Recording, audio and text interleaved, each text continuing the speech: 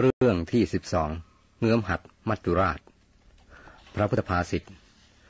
ณอันตริเคณสมุดดะมัตเชณปะบะตานัง วิเวรังปะวปวิสะนวิชเตโซชะคติปเดโซ ยัตรยัตรัติตังนับปะเฮยยะมัจจุ แปลความว่า ไม่ว่าในกลางหาว หรือท่ามกลางมหาสมุทร หรือระหว่างช่องภูเขา แผ่นดินที่มัจจุราชเอื้อมมือไปไม่ถึงนั้น มิได้มี อธิบายความ มัจจุราชคือความตาย มีอนุภาพยิ่งใหญ่กว่าใครหมดในโลกนี้ ไม่ว่าจะหนีไปที่ใด ย่อมไม่พ้นเงื้อมหัดของพญามัจจุราชได้ สัตว์เล็กสัตว์ใหญ่ทั้งในป่าในอากาศและในน้ำบนพื้นดินอยู่ในอำนาจของท่านสิน้น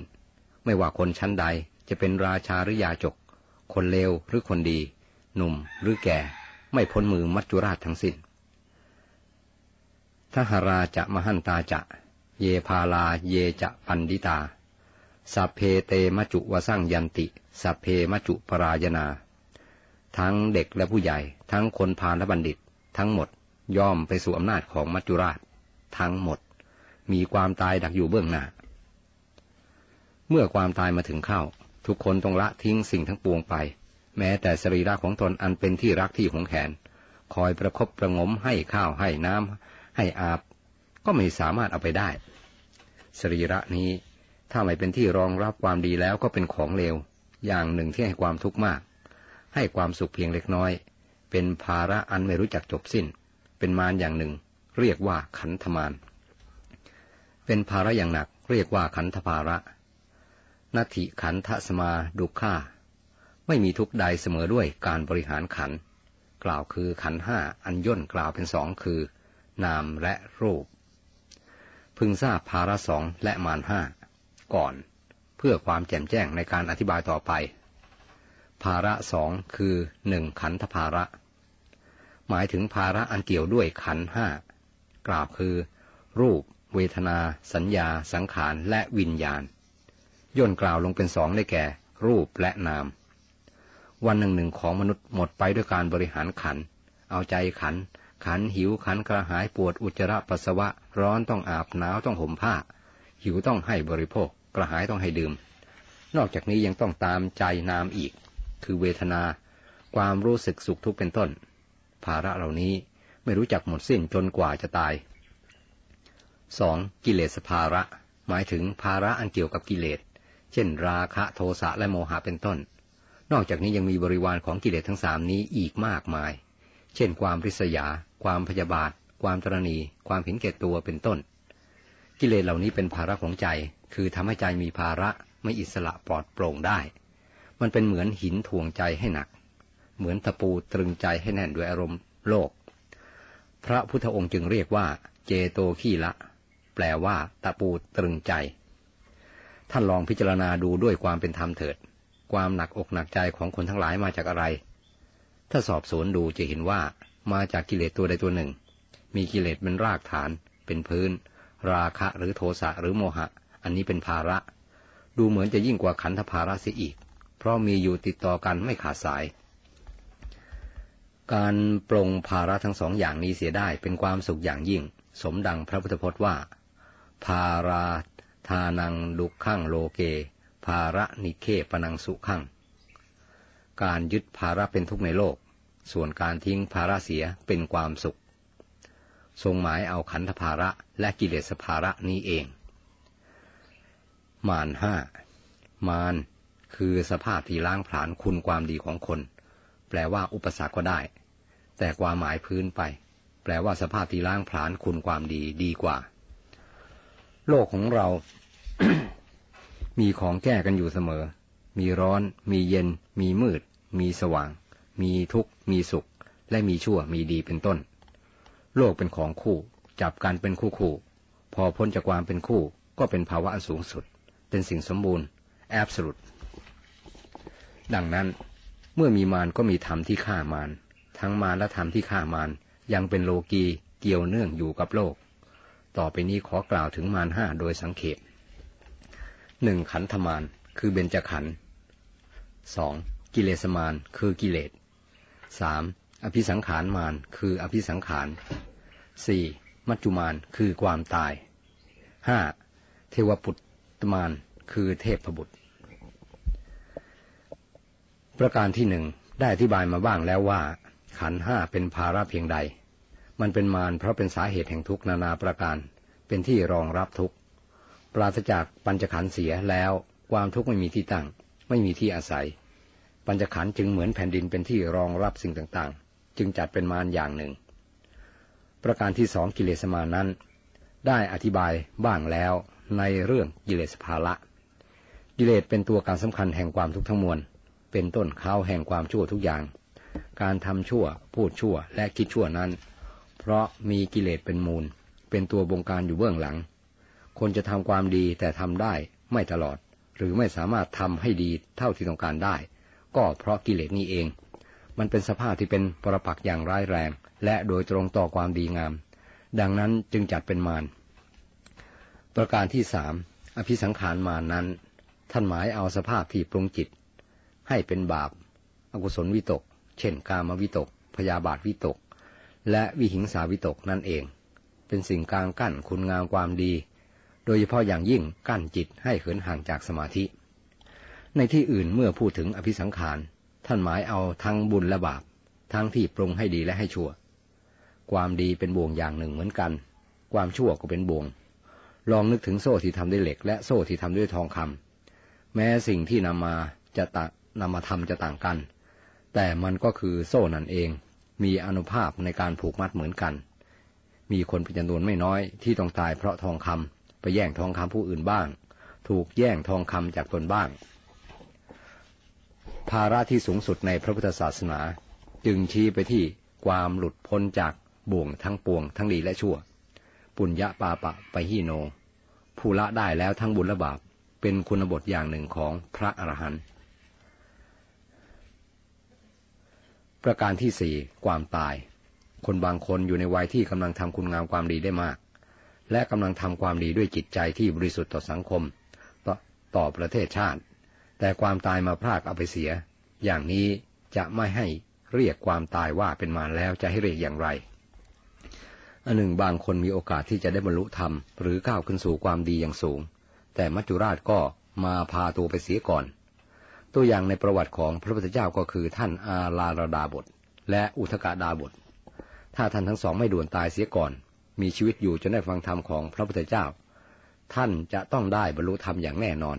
เพราะได้อบรมจิตมาอย่างสูงแล้ว เหมาะแก่การรับธรรมเทศนา เพื่อการตรัสรู้มีตัวอย่างอื่นๆอีกมาก ประการที่ห้าเทวปุตตมาน ท่านหมายเอาเทวดาที่เป็นมิจฉาทิฏฐิ คอยกางกั้นกันแกล้งคนทำความดีมิให้โอกาสอันงามแก่ผู้ทั้งใจทำความดี ตามความเข้าใจของข้าพเจ้าเวลานี้ นอกจากมารสี่อย่างข้างต้นแล้ว สิ่งขัดขวางอื่นๆ เรียกว่าเทวปุตตมานได้ทั้งหมด เช่นผู้ใหญ่ที่มีจิตลิษยาขัดขวางการทำความดีของผู้น้อย หรือผู้ใหญ่ที่รู้เท่าไม่ถึงการนำผู้น้อยไปในทางผิด สามีที่คอยล้างผลาญคุณความดีของพัญญา หรือพัญญาที่ขัดขวางความรุ่งเรืองก้าวหน้าของสามี ลูกที่ทำลายเกียรติยศของวงศกุลเป็นต้น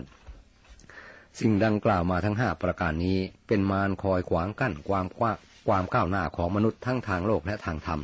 ทั้งด้านความเจริญอย่างโลกโลกและความเจริญทางจิตใจ คนที่จะก้าวไปสูงจะต้องรบกับมารและชนะมารได้ แม้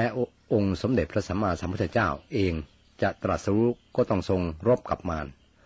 พระองค์ได้ชัยชนะจึงทรงพระนามอย่างหนึ่งว่า พระพิชิตมาร ย้อนกล่าวถึงเรื่องความตายตามพระคาถาเบื้องต้นที่ว่าจะอยู่แห่งหนตำบลใดในท้องฟ้ามหาสมุทรภูเขาลำนำไพรหรือที่ใดก็ตาม ย่อมไม่มีโอกาสพ้นจากความตายไปได้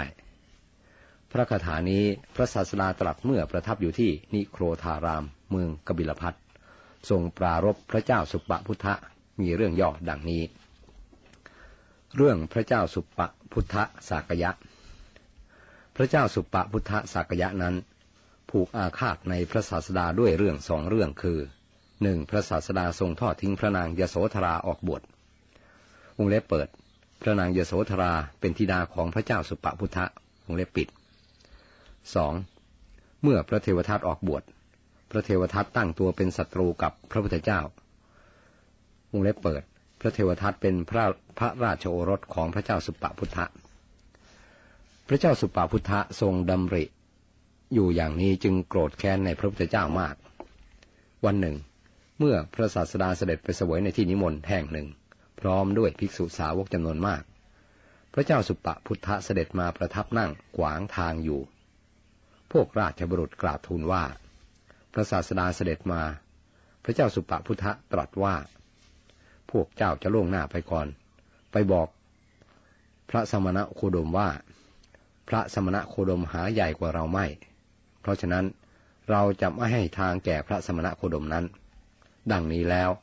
นั่งเสวยน้ำจันเฉยอยู่ น้ำจันก็คือเหล้าแม้พวกมหาเล็กจะทูลขอให้หลีกทางสักเท่าใดก็หาทรงยินยอมไม่ พระศาสดาเมื่อม่ได้ทางก็เสด็จกลับ พระเจ้าสุภพุทธะทรงส่งจารบุรุษไปว่า ลองไปฟังดูว่า พระสมณะโคดมตรัสอะไรบ้าง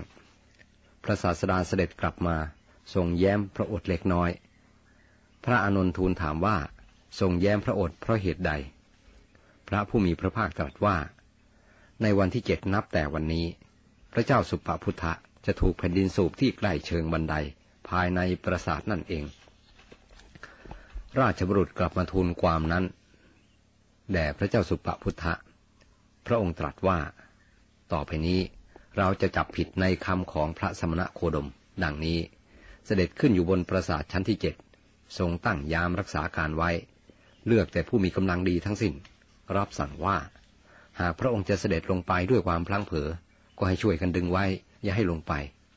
จนกระทั่งถึงวันที่แปดพระศาสดาทรงสดับเรื่องนั้นแล้ว ตรัสแก่ภิกษุทั้งหลายว่า พระเจ้าสุปปพุทธะอย่าว่าแต่เพียงนั่งอยู่บนปราสาทเลย แม้จะหอกขึ้นไปในอากาศแล่นเรือไปในมหาสมุทรก็ตาม เข้าไปอยู่ในซอกเขาก็ตาม จะต้องถูกแผ่นดินสูบในที่ที่เรากล่าวแล้วนั่นเองคำพูดของพระพุทธเจ้าย่อมไม่เป็นสอง ดังนี้แล้วตรัสพระคาถาที่ยกไว้ในเบื้องต้นนั้นว่า ณ อันตริเค ณ สมุดดะดะเช เช่น อาทิมีมีนัยยะดังพรรณนามาแล้วแต่ต้น พอถึงวันที่เจ็ด เวลาเดียวกับเวลาที่พระเจ้าสุปพุทธะประทับขวางทางพระศาสดานั่นเองมามงคลของพระเจ้าสุปพุทธะขนองกระแทกฝาต่างๆ ไม่มีใครปราบได้ ต้องได้เห็นพระเจ้าสุปพุทธะมานั้นจึงจะหยุด พระเจ้าสุปพุทธะสดับเสียงนั้น ทรงทราบความแล้ว ทรงลืมเรื่องอื่นทั้งหมด เสด็จลุกขึ้นจะไปปราบมา้า ประตูก็เปิดออก ยามรักษาการที่ทรงตั้งไว้ประตูละสองคน ไม่ได้หยุดยั้งพระองค์เลย ตรงกันข้ามกลับจับพระองค์โยนลงมาเป็นเท่าทอด จนถึงเชิงบันไดปราศาสตร์แผ่นดินแยกออกสู่พระเจ้าสุปปพุทธะลงไปยังอเวจีมหานรก ข้อสงสัยข้าพเจ้าสงสัยอยู่เรื่องหนึ่งคือในตำนานบอกไว้ว่า เมื่อพระเจ้าสุภพุทธะเสด็จขึ้นไป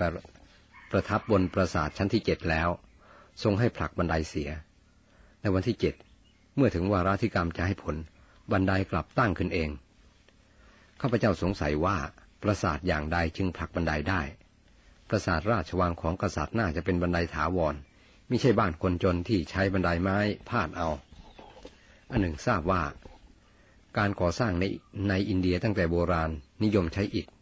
แม้บัดนี้ก็ใช้อิฐเป็นพื้น ท่องเที่ยวอยู่ในอินเดียหลายแห่ง ยังไม่เคยเห็นบ้านไม้ล้วนๆเลย ถ้ามีก็เป็นกระต๊อบเล็ก ๆ ที่มีแต่เสาสี่เสา หลังคามุงใบไม้ที่เรียกในวันคดีว่า บรรณสารา อิฐอินเดียนั้นมั่นคงแข็งแรงเหลือเกิน ดินฟ้าอากาศที่ร้อนจัดและหนาวจัดนั้น บังคับให้ต้องใช้อิฐสร้างบ้าน ถ้าเป็นบ้านไม้ คนอาศัยคงทนหนาวร้อนไม่ไหวเป็นแน่วรรคที่เก้าเรียกว่า ปาปวักวรรณนา รวมสิบสองเรื่อง